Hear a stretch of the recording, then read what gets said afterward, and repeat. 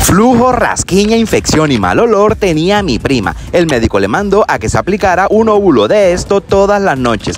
Guarda este video para que no se te pierda, ya que la información que te voy a dar es sumamente importante. Mi prima tenía un olor, un flujo impresionante con olor a pescado que no la dejaba ni dormir bien.